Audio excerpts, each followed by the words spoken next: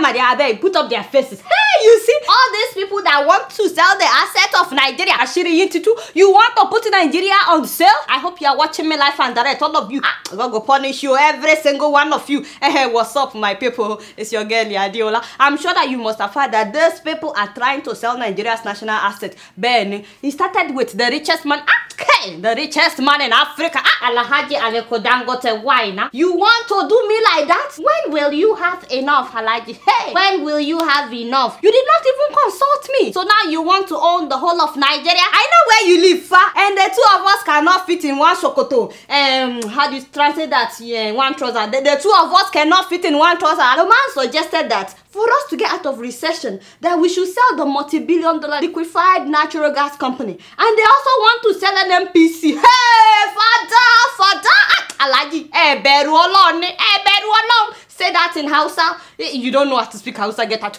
You can't even borrow us some of your money alhaji so we can pay you back when we are out of recession. The man is worth twelve billion dollars. You twelve bi ah hey fada so you are not selling your own assets. You want us to sell our own asset wallahi talai alhaji ẹ bẹ̀rù ọlọ́run. I was not surprised by the way that the senate president bukola saraki backed this idea. I said ah uncle saraki you know do well in case you are watching he's not hiding it. Everybody knows that uh, my uncle is a prodigal son bẹ́ẹ̀ wọ́n ti ta gbogbo ìlọrin tán. Bó níjà yọ uncle bukola? Una do well in case you are watching me ẹ lójútì. Ọlọ́ngbọ́n ẹ lójútì. If everybody is talking about selling assets in nigeria it shouldn't be somebody that has several corruption charges against him in court. Ah uncle bukola uncle bukola jẹ́ wojú yín fa don't let me look you in the eye. So now they said that the finance minister kemi adeosun also seconded this idea saying that the money realized from the sale of the company would be used to fund the 2016 budget. I said ah aunty kemi eh aunty kemi aunty mi abeni olúwakẹ́mi yọ̀dà fún yín tí ó pọ̀. Why? Why you dey do me like this? Ah you disappointed mama. Aunty if we are selling this one for the 2016 budget by the way by the way we are still looking for money for the 2016 budget. This is october no be so? So aunty kemi please move closer move closer. What are we going to sell for the 2017 budget? And then the 2018 budget what are we going to sell? Why am i even asking? The next thing they will say that they want to sell the railway and our parks and our tourist attractions before you know it my people they will start selling us the people. Bene why not kuku sell the people of nigeria? Aunty kemi eh eh ṣe tawa you must to sell all of us. So if you want to sell nigeria then you must to sell all of us. First of all we are not selling. We are not selling anything. And that is despite the fact that everybody knows that when you sell something at a desperate time itakuta lo matter that is to say that the assets will always be undervalued and sold at a very cheap price. Everybody knows that. They are telling us that they will buy it back you know i said how many assets of nigeria have you people bought back how many how many have you guys bought back ha, wait wait a minute the vice president is also on the list hey what Fáàmì Ọ̀ṣunbájò ni ẹ̀lẹ́ Inaduwe you are welcome to this program. Ah, you disappointed mama. You disappointed. What happened? What happened to you? I hope you are watching. You know that I'm the only one that will tell you the truth. Bene,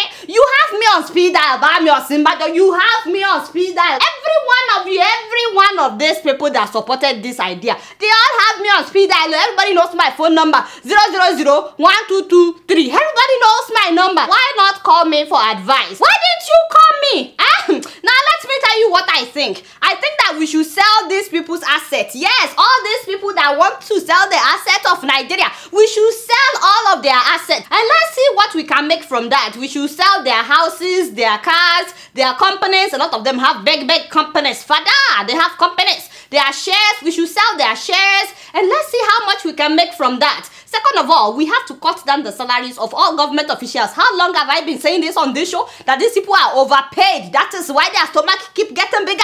We need to cut down their salaries. And I'm talking about all the officials, the ministers, the senators, House of Assembly. You know, I spoke with a senator last week that came here for the General Assembly. That is a Senator Abdullahi Aliyu Sabi. Eh? My father, in case you are watching, it was very nice meeting you. I know that you will not forget me because we were arguing back and forth. That Do you feel like it's okay how much you get paid? You see, with to me, recession uh, Adeola, in the, look, in the country let's- and with let's the face minimum reality. wage being eighteen Let's know. Hey, Inadue, it was very nice meeting you. He's a senator as well as the spokesperson for the Senate. You know that the man told me that Nigerian senators are one of the least paid senators in the whole world? The National Institute for Legislative Studies brought out so many countries they've compared. In contrast, let me tell you that we are actually even the least paid. You're the least paid Yeah, we're not. in Uh, yes, compared with other countries. Okay, okay, we hear you, but uh, Oga, exactly how much do you make? How much do you get paid, sir? Well, I think uh, the issue of how much do I get paid is a debate that to me is just overbody.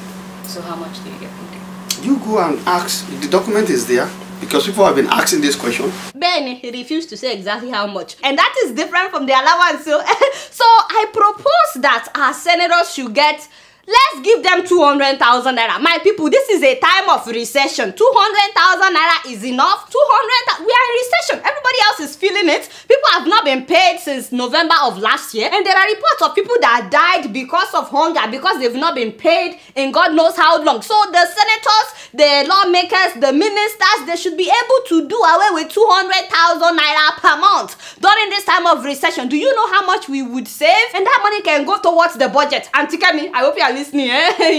Seriously, I know that 200,000 naira may sound ridiculous to these senators, you know, because I know that they live in a whole nother world. But did you guys see the news about how Saudi Arabia cut down the salaries of their ministers by 20%? We're talking about Saudi Arabia, where they have oil money. They cut down their salaries by 20% in order to help the economy. Why can't we do that? They are not selling their assets, but they are cutting down the salaries of ministers. Now, this company that they are trying to sell, the liquefied gas company that these people are trying to sell, do you guys know that it generated 85 billion dollars for Nigeria in the last 15 years? 85 billion dollars. That's how much the company generated for Nigeria, and they want to sell it. And that amount is just what was reported because you guys know that a lot of money was stolen in the last five years. Yet they want to sell this company. How bad? And then should we talk about NNPC? Isn't that the only thing that we depend on in Nigeria?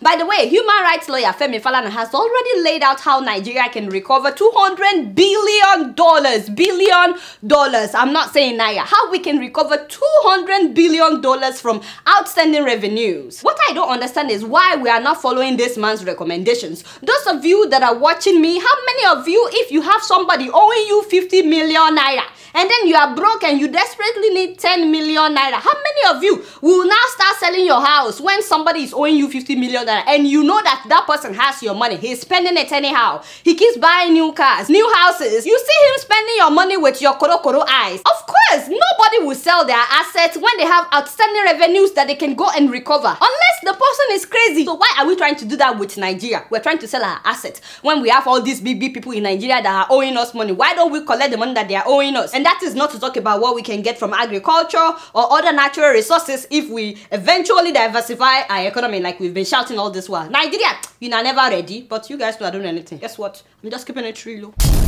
So last week was crazy. I'm telling you, Nigerian officials were here in town for the United Nations General Assembly, as you guys know. So every year I try to interview government officials. But I just want to say that I've related with these people enough to tell you majority of them, majority of Nigerian officials, they live in their own world. They live in their own world, as in their reality and our own reality is completely different. You'll be telling these people stuff and eh, I mean, they don't they don't even know what you're talking about, which is why many of them would watch my show and they would just laugh. She's just joking. I met several governors that day. I met the governor of Zamfara in Adu Mayoga. You refuse to grant my interview. Don't worry, I know where you live. And then I met the governor of Lagos State. That is Governor Ambode.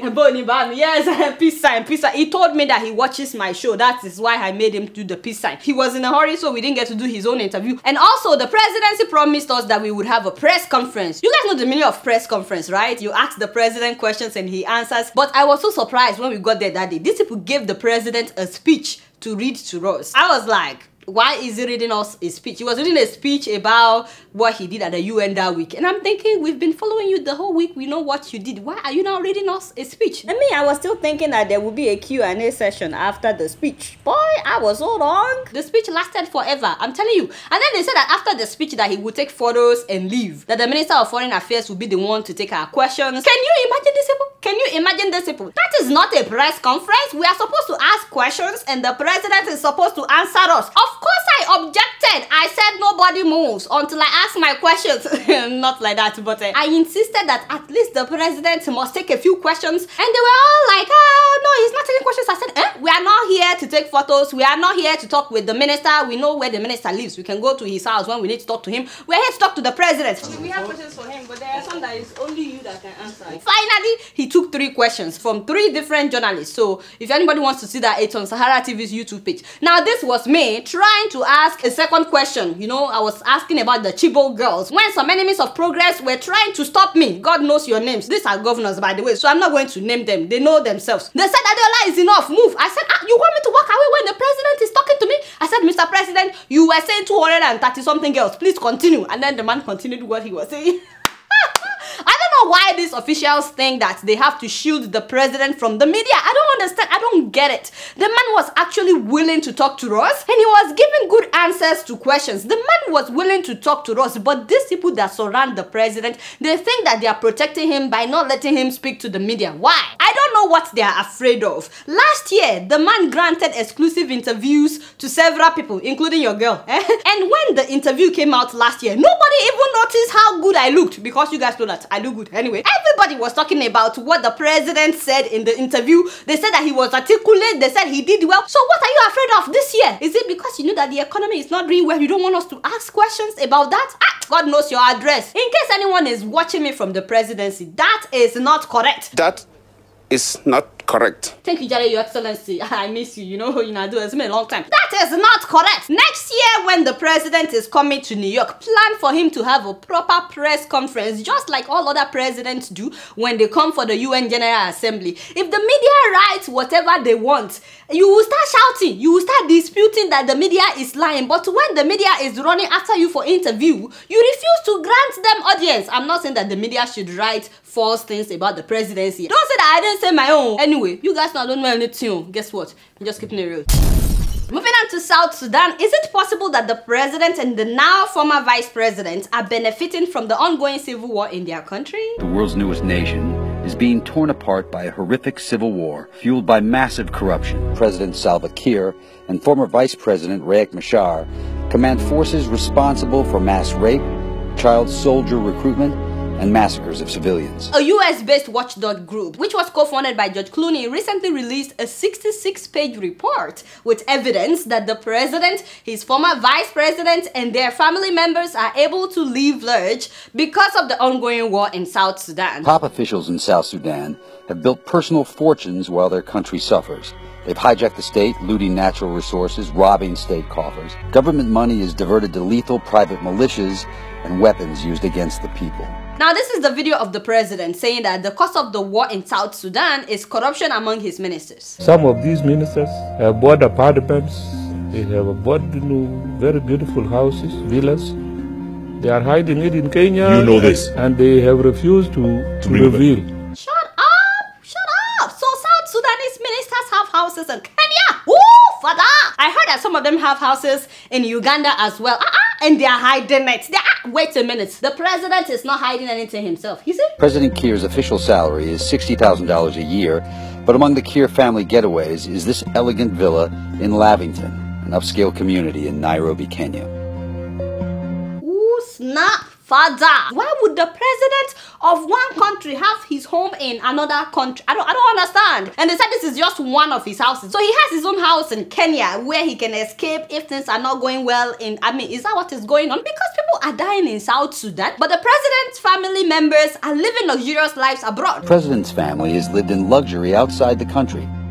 They post videos partying in five-star hotels, driving expensive cars, and jet-setting around the world, while average South Sudanese are living through hell. That's not the only thing, and I'm not making this up. But guess what? The president's sons, they now write president's son as their occupation on their national ID. As in, you ask them, oh boy, what do you do? They say, I'm a president's son. See, it's on paper. Hey! So now being a president's son is an occupation in South Sudan. Tell me something. And um, according to this report, the former vice president is doing the same thing. You guys remember him now? The one that they replaced within 48 hours. Uh -huh. Machar tried to sell off the country's oil to a Russian arms dealer in return for deadly weapons, while his family lives in different homes outside South Sudan, far from the war zone. And now his family stays here in Lavington, in the same neighborhood as President Kiir. You see what I'm saying? So when this report came out, of course they denied it. And guess what the presidency said? Well, do people expect the president's family to rent a house in the slums of Nairobi? I was like, no, he didn't. Yes, he did. Yes, he did. No, he did not. Say what? Father. I was like, no, he did not. Like, he didn't even deny that he has a house in Kenya. So you guys know me, you know. I found some South Sudanese officials here at the United Nations when they came uh, last week. First of all, I found the Minister of Petroleum. And by the, by the way, it's not like I'm short or anything. I'm not short. The man is just really tall. He's, yes, he's just very, very tall. So I asked him about this report and he said that the report is not true. He said it's false. That he read the whole thing, that they're just trying to paint the president bad. Mm-hmm. I also asked him about the president's response. You know, the whole, do you guys expect the president's family to rent a house in the slum? You know, I asked him about that. And the minister told me that the president was not the one that actually said that. I said, who said it? He said, oh, it's his spokesperson. I said, mm, mm, mm. So then I also met the South Sudanese ambassador, the one that lives in Washington, D.C. And he told me that the whole thing is a scam, that they're just trying to make South Sudan look bad,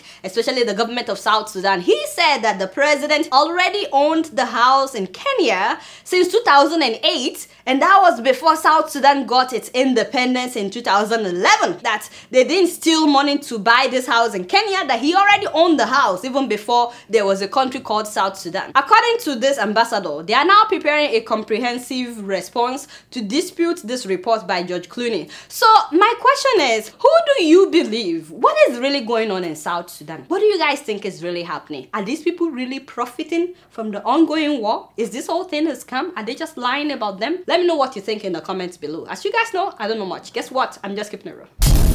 So before I leave today, I like to read some of your emails and the first one is from Chimere Ohajinwa and he says, Hi Adeola, can you please talk about the roads in Aba in Abia State? It's really bad. It seems like Abia State does not have any governor for years. Things are worse in Aba compared to any other place in Nigeria as businesses have completely collapsed. What? And then I found some pictures of the road in Aba. I mean, just take a look at that. I was like, Father, how are people traveling in Aba? These are death traps. These are death traps. I said, my people in Aba, you now don't suffer. Ah, you now don't suffer. These are the roads that you travel on every day. Ah, Mr. Governor, Mr. Governor, now the whole world knows how the road looks like in your state. Ah, there is God in everything we are doing. Please fix the roads for the people of Aba in Abia State. The next email is very similar. It's from Olatoye Ajani. He says, Hello Adiola, please talk about the traffic from Ilezik to Ikeja and it's because of some bad spots that are close to the airport boundary. So people sit on this road for hours. You are going to work and you are sitting in traffic. How are people supposed to be productive? Governor Ambode, you have met me, we have met each other. Now let us do right by the people. Thank you very much, my brother, for writing. The last email is from Ogunlaye Adeola. What? My namesake, well. Thank you for writing. So he wants me to give a shout out to a friend of his, that is Toyosi Craig, who was recently honored with the 2016 Young Researcher of the Year Award in South Africa. Yes, so Nigerians making us proud. Kudos to you, my brother. Making us proud at home and abroad. That is what I like to see. Eh?